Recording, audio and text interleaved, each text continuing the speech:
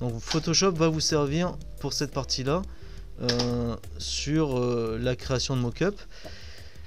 Vous avez également une mock-up ici. Là, on a plutôt un mock-up de style packaging. Euh, dans laquelle, et là aussi d'ailleurs, on voit le logo apparaître, vous voyez, sur le, carton, avec sur la, tasse, comme si elle avait été gravée dedans, etc., Maintenant, Photoshop, ça ne sert pas qu'à faire des mock-ups, bien sûr. Photoshop va nous servir à créer des tas de photomontages. Mais avant d'attaquer Photoshop, il va falloir d'abord comprendre ce qu'est une, une image, tout à fait. Alors qu'est-ce qu'une image? Qui est en quoi? En émoi. Alors sur Discord, vous êtes en émoi. Qu'est-ce qu'une image? Puisque tout ce que je viens de dire avant, je le couperai au montage vidéo. Euh, une image, c'est ben, ça. Et là, vous allez me dire, waouh, super, qu'est-ce qu'on en apprend aujourd'hui? Oui, mais une image, vous voyez, elle n'a pas forcément la, même taille. Là, par exemple, on a l'image d'un trou noir. C'est la vraie image qui a été prise d'un trou noir. Impressionnant. C'est bien quand on tapant une image, on tombe sur une image qui a un intérêt scientifique. Mais on a également des euh, fonds d'écran. Moche ou beau, enfin ça dépend de votre goût. Ok? Donc à travers ça, on a effectivement des formats différents, des tailles différentes, donc des poids différents. Plus l'image est petite, plus elle est légère. Mais également, on a une qualité différente. Si je clique par exemple sur cette image-là, je fais un clic droit, copier l'image. Je vais sur Photoshop. Petit raccourci, CTRL N pour nouveau. Je clique sur OK sans me préoccuper des paramètres. CTRL V je colle l'image que je suis allé récupérer sur Google. On va refaire la manip. Hein. Donc là, j'ai une première image. Je refais la manip. Je vais prendre cette image-là. Clic droit sur l'image. Faites attention, prenez pas cette image-là parce que là, vous avez une vignette. Donc vous cliquez sur l'image pour l'avoir le plus grand possible. Il me renseigne, l'image fait 332 par 332 pixels. Je copie l'image, je vais sur Photoshop, CTRL N, J'appuie sur Entrée, CTRL V. Donc ici, du coup, j'ai deux onglets. Le premier onglet, c'est ma première image. Le deuxième onglet, c'est ma deuxième image. Moi, ce qui m'intéresse de voir avec vous maintenant, sur la première image, vous allez dans Image et taille de l'image. Donc Image, Image Size euh, en anglais. Donc Image, taille de l'image. Et ici, on nous renseigne sur les paramètres liés à l'image. Les paramètres sont celles-ci. J'ai d'abord une valeur en pixels. 512 pixels par 288 pixels. Question, si je l'imprime, quelle taille est fait? La taille, je l'ai en dessous, en millimètres. Donc ici, j'ai une valeur en pixels qui est liée à mon écran. Et ici, j'ai une taille en millimètres qui est liée à mon impression. Si je l'imprime, elle fera 180 mm par 101 mm. Enfin, j'ai la résolution. La résolution, c'est la qualité de l'image. Ok Donc, quand je vois résolution 72 dpi, ça indique que mon image est adaptée aux écrans. Puisque tous les écrans qu'on a ici euh, en classe, les HP que vous avez devant vous, sont des écrans en 72 dpi donc avec une qualité de 72 dpi. Qu'est-ce que 72 dpi ben 72 dpi en fait c'est euh, là on peut pas le voir il faudrait que je colle mon œil sur l'écran. Mais si vous collez votre œil sur l'écran vous verrez des pixels. Les pixels c'est ce qui forme l'intégralité de votre écran. Ok si je fais un imprime écran avec la touche imprime écran que vous avez sur votre clavier PC. Sur Mac, il y a un autre raccourci, bon, je l'ai plus en tête. Pas majuscule 3 ou 4. ok. Je fais CTRL N. Là, j'ai la taille de mon écran. La taille de mon écran fait 1920 par 1080 en 72 dpi. Ok. Donc mon image qui est à l'intérieur ici est une image évidemment plus petite je reviens dans Image Size, qui fait 512 par 288 avec la même résolution. Jusque-là, ça va. C'est-à-dire qu'en fait, chaque petit pixel a une donnée de couleur et lorsque je les assemble une à une, les unes à côté des autres, j'obtiens une image. En l'occurrence, l'Islande avec un, volcan au fond ou un lever de soleil, bref. Ok. Je viens sur ma deuxième image et on va pareil faire image, image size. Quels sont les paramètres de cette image là J'ai une image qui fait 332 pixels par 332 pixels qui, si je l'imprime, fait 117 mm et qui est en résolution 72. Problématique, 72 de résolution, c'est une résolution qui est adaptée aux écrans, mais qui n'est pas du tout adaptée à l'impression.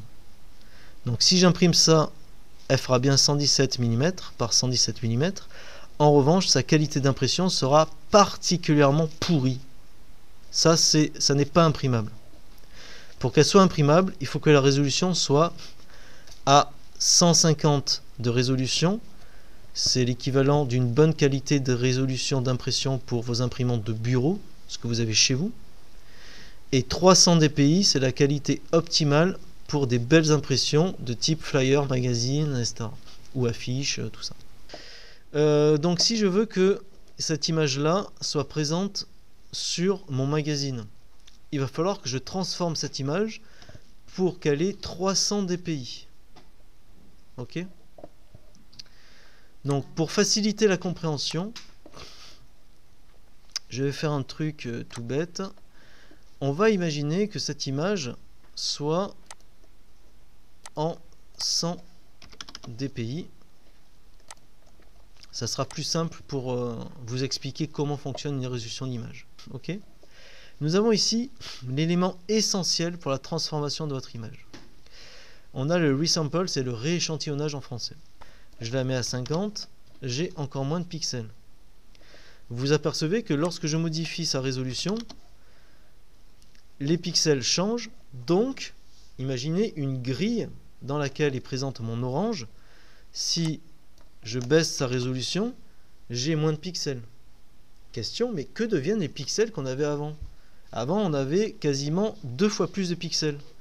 Ben là, il fait un travail justement de resample, donc de rééchantillonnage. C'est-à-dire que c'est Photoshop qui de lui-même va euh, soustraire tous les pixels qui en trop pour retrouver le bon nombre de pixels sur une qualité qui sera à moins de 50 de résolution. Si je mets 300, qu'est-ce qui se passe? Là, j'ai plus de pixels. Alors, je vais même grossir encore plus pour que vous voyez le problème. Vous voyez que du coup, ce qui se passe dans le rééchantillonnage, c'est qu'il est obligé d'ajouter des pixels cette fois-ci, lorsque j'augmente la résolution.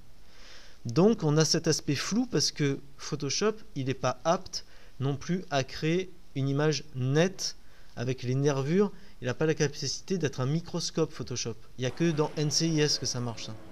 Dans Photoshop, ça ne marche pas. Quand on augmente la résolution, ben, on augmente le nombre de pixels, mais donc il est obligé de créer de nouveaux pixels. Donc il est suffisamment intelligent pour se dire tout de même que entre la zone qu'il y avait ici et les nouvelles zones qui sont créées, il va créer des pixels intermédiaires, de couleurs intermédiaires, pour retrouver l'apparence de l'image. Mais on a énormément perdu en qualité d'image, malgré le 600 de résolution. Donc ça veut dire tout simplement que on ne peut pas augmenter la résolution d'une image avec du rééchantillonnage. Je remets à 100. Cette fois-ci, je vais enlever le rééchantillonnage. Et regardez ce qui se passe. Cette fois-ci, le nombre de pixels va rester inchangé. En revanche, c'est le nombre de millimètres qui va être modifié. Si de 100 de résolution, je passe à 300, vous voyez que j'ai divisé par 3 ma valeur en millimètres. Donc ça veut dire que mon image à l'impression va être 3 fois plus petite. J'ai toujours le même nombre de pixels. Ma résolution est montée à 300, donc cette fois-ci j'ai une image de très bonne qualité pour l'impression mais mon image ne fait plus que 28 mm, donc 2,8 cm. C'est très petit. Mais là, elle est imprimable. Elle est de bonne qualité. Donc, pour que ce soit plus clair, vu que le nombre de pixels n'a pas changé, c'est-à-dire que j'ai toujours, si je comptais là, si je collais mon œil sur mon écran, et que je les compte un à un, les pixels, j'ai bien 332 pixels sur 332 pixels. Ok? Donc imaginez vraiment une grille dans laquelle, dans chaque euh, grille, je mets une donnée de couleur, une donnée de couleur, une donnée de couleur, une donnée de couleur. Ça ressemble un peu à ça, hein, grossièrement. voilà. Là j'ai un pixel, là j'ai un pixel, là j'ai un pixel, là j'ai un pixel, etc. Ok? Et du coup j'ai exactement le même nombre de pixels. Donc c'est à dire qu'à aucun moment je modifie l'image. Je ne la rééchantillonne pas en agrandissant, je ne la rééchantillonne pas en la rapetissant. Mais je modifie sa taille réelle à l'impression.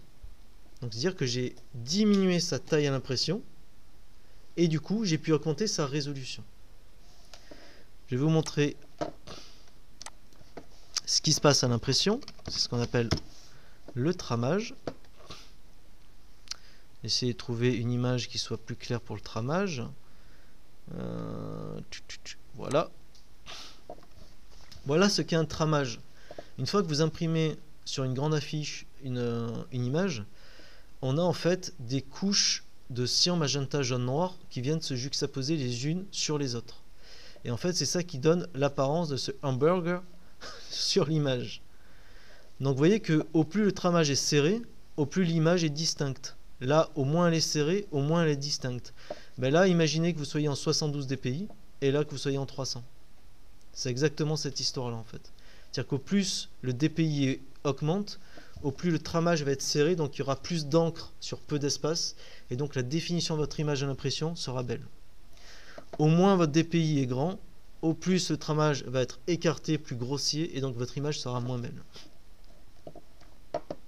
Il y a une histoire aussi de, distance, non? Par rapport à l'impression, c'est-à-dire qu'on va pas mettre 300 dpi sur euh, une affiche euh, qu'on la colle, euh, par exemple, dehors en voiture. Alors, effectivement, avec toutes ces valeurs-là, maintenant que vous avez en tête, sur le fait de pouvoir agrandir, diminuer, etc., ce que fait l'imprimeur si vous devez imprimer une affiche euh, sur euh, SU7 au bord d'une autoroute, euh, il ne va pas imprimer votre affiche en 18 mètres par 8 mètres en 300 dpi. Ça serait beaucoup trop lourd comme image. votre ordinateur ne le gérerait pas de toute façon. Donc là, du coup, c'est à vous de descendre l'échelle de votre image. Vous allez par exemple faire à l'échelle je sais pas, un dixième par exemple, et votre imprimeur, lorsqu'il va imprimer, vous lui indiquez que l'échelle que vous avez utilisée est une échelle de 1 dixième, donc lui, il va la multiplier par 10 lors de l'impression. Mais ça veut dire qu'il va du coup écarter cet effet de tramage. Vu que c'est une grande affiche, ben, sur l'autoroute, tu verras pas la différence. Maintenant, colle-toi sur une affiche de publicité énorme, tu verras ce tramage apparaître très clairement. De près, l'image, tu la vois pas. Mais de loin, elle apparaît euh, nette. Voilà. Euh, je vais vous faire une démonstration du problème de rééchantillonnage, comme ça au moins je suis sûr que vous allez comprendre. Donc le rééchantillonnage, là vous voyez, je suis en train de diminuer mon image. Là je viens de faire un rééchantillonnage, c'est-à-dire que Photoshop vient de réduire mon image à ça. Si je réagrandis mon image, donc là je fais le rééchantillonnage inverse, j'agrandis, bah, du coup il va devoir inventer des nouveaux pixels, et vous voyez que petit à petit, on perd la qualité d'image complètement. C'est très grossier ce que je viens de faire, mais c'est exactement ce qui se passe lorsque vous rapetissez et vous agrandissez à l'arrache une image. Donc globalement, en fait, la bonne méthode, vous pouvez tout de même diminuer la taille d'une image sans perte de qualité. Parce que là, certes, il enlève des pixels, mais il conserve euh, l'image la plus fidèlement possible. En revanche, agrandir une image, ça sera toujours catastrophique. Vous aurez toujours un effet flou, un effet pixelisé, ça sera toujours atroce. Voilà pourquoi il est important d'aborder cette notion d'image par rapport à la qualité. Deuxième élément important sur une image, mais elle est en quoi cette image colorimétriquement parlant? Donc lorsqu'on vous parle de colorimétrie dans une image, on parle de deux formes de colorimétrie essentiellement on a le RVB et le CMJN. Il existe également le lab qui se base sur la luminosité et une couche alpha et bêta, mais en général on utilise plutôt ça en photo. On va plutôt revenir sur le RVB CMJN qui nous intéresse. Vous le retrouvez dans Image Mode et vous avez ici RVB et CMJN. Donc là en fait ces deux notions sont très importantes puisque comme je vous l'avais montré sur euh, InDesign par rapport aux images, le RVB, c'est vraiment ce qui est destiné aux écrans, et le CMJN, ce qui est destiné à l'impression. Là, j'ai une image tirée d'Internet, donc nécessairement elle est RVB. C'est obligé. Si maintenant je la fais basculer en CMJN, là, il va me demander de l'aplatir, certes, on s'en fout. Euh, là, il me dit en gros qu'il y a une conversion qui va être faite pour le CMJN. Je vais dire, bah, ok, de toute façon, c'est ce que je veux, donc il n'y a pas le choix. Et la couleur, elle va être beaucoup plus terne. Alors, c'est peut-être moins évident là. Je vais le faire avec une couleur qui est euh, beaucoup plus violente. Oui, le mot violent, c'est tout à fait approprié. Je vais prendre... Là, je suis en CMJN. Vous voyez déjà qu'entre le vert que j'ai choisi là et le CMJN, mon effet que je voulais faire est complètement raté. Vous venez de voir du CMJN. Alors, je remets je remets en RVB. Oui, flatten l'image. Donc j'utilise une couleur verte. Alors je vais même aller encore plus loin d'ailleurs. J'ai carrément utilisé... Ah oui, c'est pas... Non, mais c'est le plus pétant. Ok, très bien. Donc là, j'ai une couleur verte pétante. Elle est verte pétante parce qu'elle utilise la lumière de l'écran. Et pareil, vous ici avec le vidéoprojecteur, le vidéoprojecteur vous montre que le vert est vraiment pétant. Maintenant, dès que je passe en CMJN, c'est assez flagrant, le CMJN fonctionne avec du cyan, magenta, jaune, noir. Donc ça veut dire qu'il n'y a plus d'histoire de luminosité, c'est une histoire d'aplat d'encre. Donc forcément, vous allez perdre énormément en luminosité. Donc il ne faut jamais se fier à ce que vous avez à l'écran, parce que l'écran vous renvoie de la lumière, alors que votre support papier, c'est le soleil, c'est votre environnement qui renvoie la lumière de l'encre. Donc ce sont deux notions vraiment différentes. Je reviens d'ailleurs sur CMJN RVB. Voilà, vous avez un parfait exemple de la différence entre le CMJN et le RVB. Le RVB, je pense qu'avec cet exemple-là, ça sera vraiment clair pour vous. Ce sont des ampoules. J'ai une ampoule verte, une ampoule rouge et une ampoule bleue. Si j'éteins mes trois ampoules, j'obtiens du noir. Ok, j'éteins la lumière, vous êtes dans le noir. J'éclaire mes trois ampoules. Si ces trois ampoules se croisent au même endroit, ben, vu que j'ai une luminosité plus une luminosité plus une luminosité, j'obtiens du blanc. Parce qu'il y a trois éclairages au même endroit. C'est comme ça qu'on obtient du blanc avec du RVB.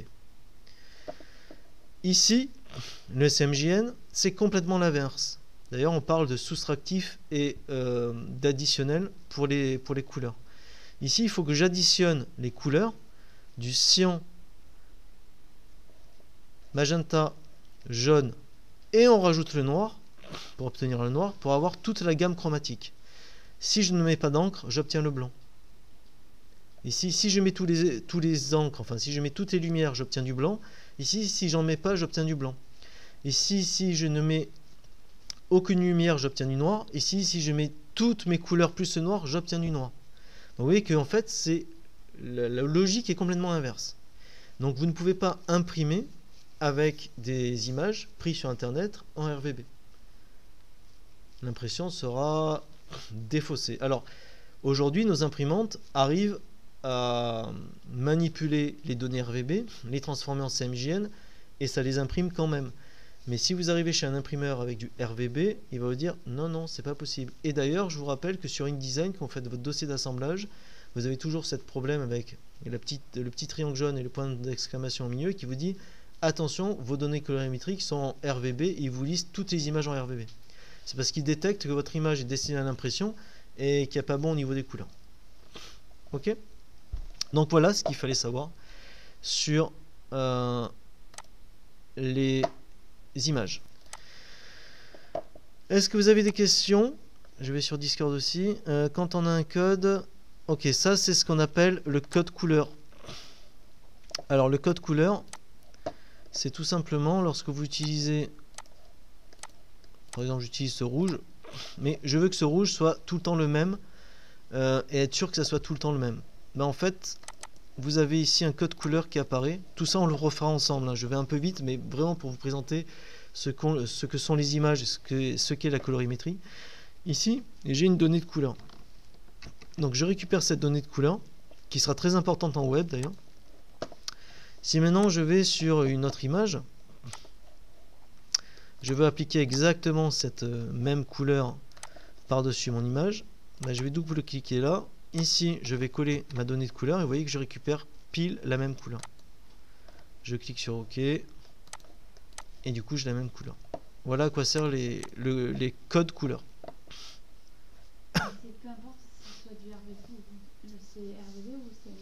Ça, c'est des codes couleurs RVB.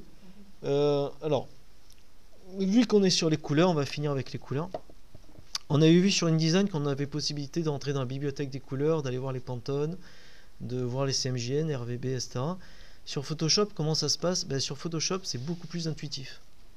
Heureusement, parce que vu vos têtes, plus personne ne se souvient de comment obtenir les couleurs euh, via le nuancé d'InDesign.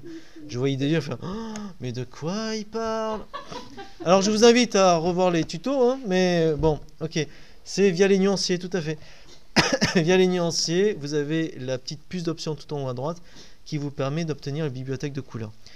Ici, c'est 20 fois plus simple. Alors, on va retrouver les nuanciers, swatches. Vous voyez que c'est le c'est... Je vais peut-être l'enlever euh, quand je ferai la vidéo. J'utiliserai pas un bip. Euh, en fait, dans les nuanciers ici, on n'a pas les nuanciers classés avec des noms comme sur InDesign. Parce qu'InDesign renforce l'idée que vous devez connaître vos couleurs, votre charte graphique pour créer vos documents. Or là, nous sommes sur du photomontage. Donc on s'en fout de savoir euh, quel nom a notre couleur et tout. On veut utiliser des couleurs et être voilà, dans la création. Quoi. Donc du coup, vous allez avoir une palette de nuanciers comme un artiste avec plein de nuances.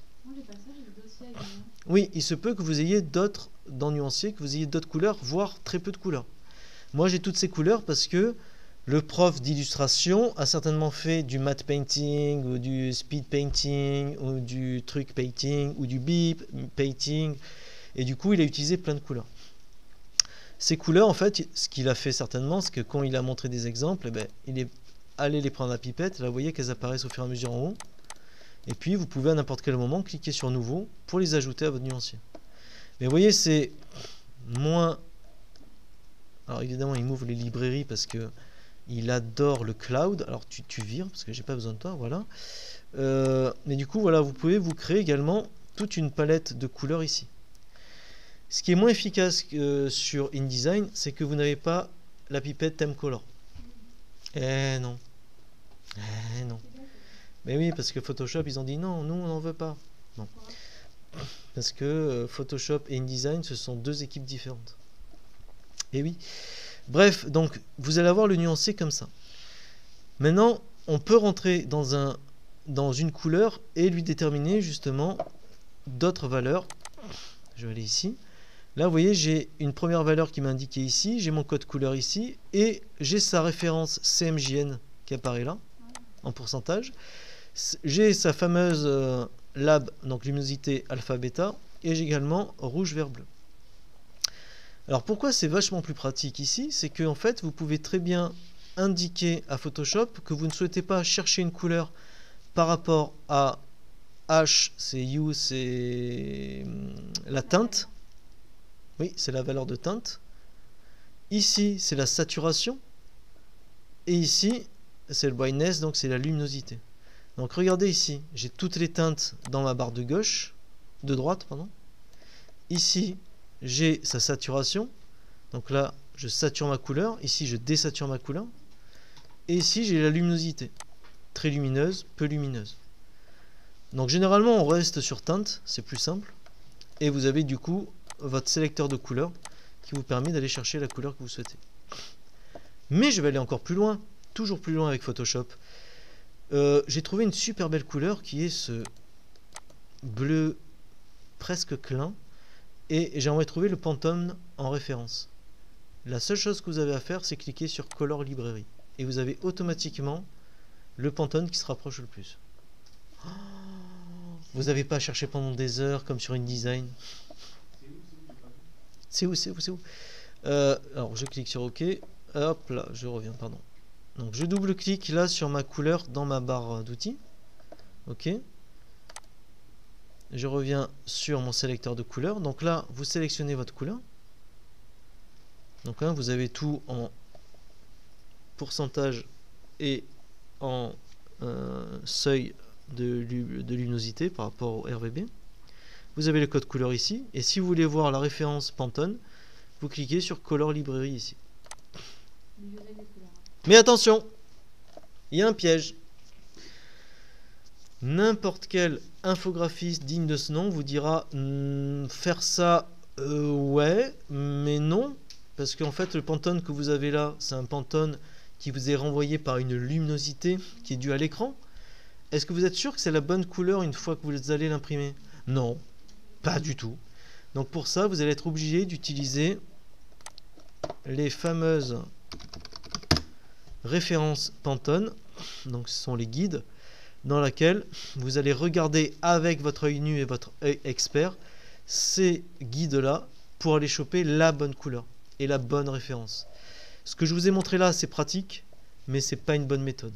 Si vous utilisez des couleurs Pantone qui va vous coûter beaucoup plus cher l'impression, ne vous amusez pas à faire ça. Vous pouvez avoir de mauvaises surprises. Je préfère vous le dire parce que au jury, on peut vous demander cette question. Si vous dites, ah ben moi, ma référence Pantone, ben, je suis allé sur Photoshop, je suis allé cliquer et j'ai trouvé ma référence. On va faire, Hmm. Ils, vont, ils vont faire non de la tête. C'est sûr. Oui physique et on choisit la couleur qu'on veut. Ouais, C'est physique, c'est réel. Ça, en fait, c'est un, un éventail. Et oui, mais si tu veux une couleur chaude, tu vas pas regarder dans les bleus. Donc tout de suite, tu vois, tu vas déjà regarder plutôt dans la panel chaude. Et ensuite, tu vas commencer à regarder dans les rouges ce qui se trouve, etc. Pour aller trouver ton orange, rouge que tu cherchais euh, pour repeindre euh, ta salle à manger. Ça c'est le nuancier, c'est ça en fait Oui. Quand, avant, j'allais sur Color, ouais, Adobe, vous voyez Ouais.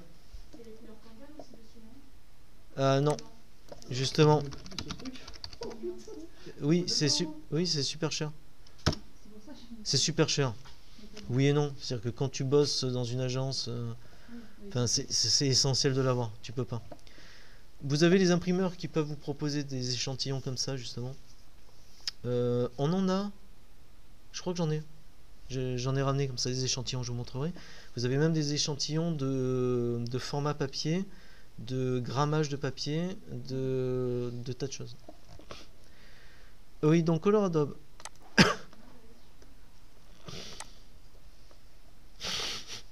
Sur Color Adobe, là, j'ai les données couleurs, donc les codes couleurs. J'ai du RVB.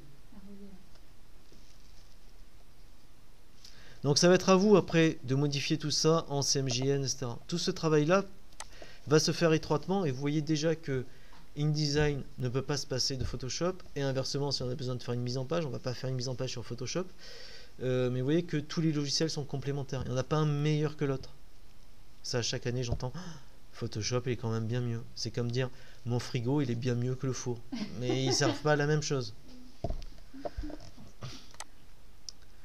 Ok.